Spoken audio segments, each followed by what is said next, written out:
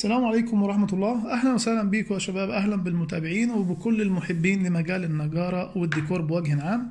النهاردة آه، الفيديو بتاعنا عن طريقة ضبط الفارة بشكل سهل لأن دي كانت مشكلة بتواجه كل الناس ومن ضمنهم أنا. في بداية ما بدأت أشتغل كان موضوع ضبط الفارة والكاستير بتاعها كان صعب شوية. فالنهاردة هنعمل آه، فيديو للمبتدئين عن طريقة ضبط الفارة وضبط الكاستير بتاعها. في البداية نتعرف على الفارة الفارة دي بتتكون من جسم من الحديد المصبوب تمام؟ بتتكون من يد اليد دي بتكون من الخشب أو البلاستيك المطبوخ اللي هو البلاستيك الكتلة واحدة. بيتكون من آه، عندنا الجزء ده بيسموه الشركة اللي هو مربوط بمسمار.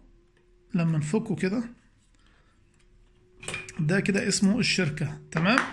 هنلاقي بعد كده عندنا الكاستير وعليه الغطا بتاعه اسمه غطا الكاستير. في جزء اللي هو ال curve ده وظيفته إنه بيعمل سوستة عشان يضغط الكاستير وفي نفس الوقت يطلع النشارة اللي انت بتقطعها الناحية التانية. مربوطين مع بعض بالمسمار ده هنفك المسمار ده كده. ونحرك ده كده. أصبح عندنا الجزئين منفصلين. تمام؟ هي دي المكونات الأساسية. طريقة بقى الضبط في الخطوات هنتبعها بالترتيب. أول حاجة الكاستير بتاعك يكون زاوية القطع بتاعته مستقيمة يعني معدولة ما تكونش مايلة كده أو كده. لو مايلة لازم تظبطها تكون الزاوية دي كده مظبوطة مع ده زاوية قايمة القطع مظبوط.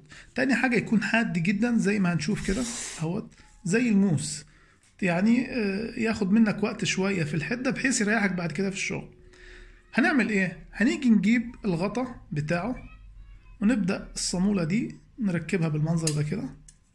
وأبدأ أخلي الغطا بتاع الكاستير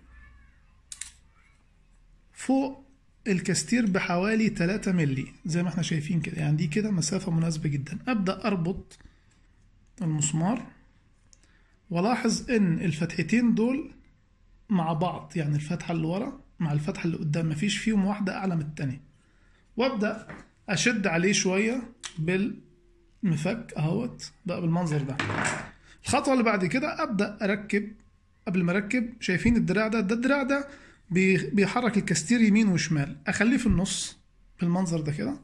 وبعد كده البلية أو العجلة دي لازم تكون هي كمان في المنتصف ما تكونش آه، البلية دي وظيفتها إن هي بتعلي وتنزل الكاستير.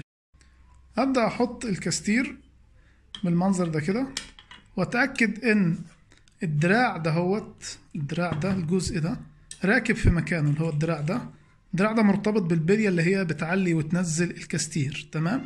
أتأكد إن هي داخلة في المكان بتاعها مظبوط اهوت بالمنظر ده.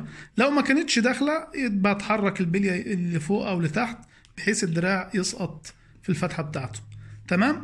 بعد كده هجيب الشركة ويكون ال clips مرفوع لفوق بالمنظر ده كده. واحط الشركة من الفتحة الكبيرة كده واضغط عليها كده تمام؟ واضغط كويس جدا على الفاره والكاستير بحيث يبقوا منطبقين على السطح المستوي. بعد كده أبدأ أشد ال clips بتاعي. أصبحت الفارة كده إيه؟ آه، مظبوطة. لو جيت بعد كده بقى هبدأ أجرب الفارة وأشوف هظبط الكاستير بتاعها إزاي.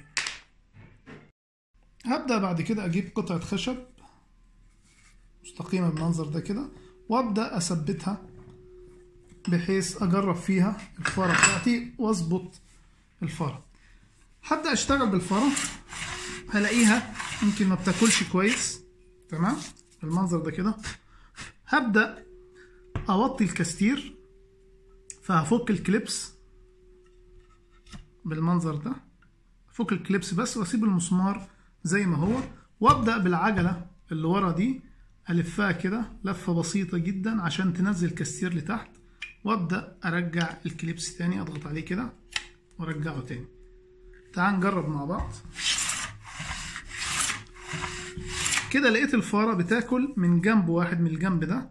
هبدأ أرجع أرفع الكليبس تاني بالمنظر ده وأبدأ أحرك الدراع ده بقى الاتجاه التاني. هي بتاكل من هنا فأنا هبدأ أحركها الاتجاه المعاكس عشان يبقى كلها مستوية مع بعضها.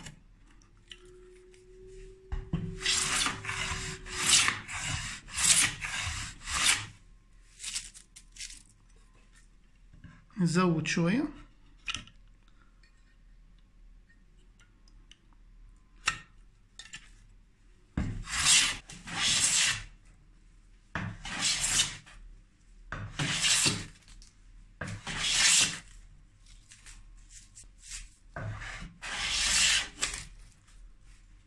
شايفين كده يا شباب ده الخشب طالع بعرض قطعة الخشب وبالرقة ديت ده المفروض معناه إن الكاستير بتاعك مظبوط والهبوط بتاعه مناسب إنه يطلعه آه، رقيق بالشكل ده.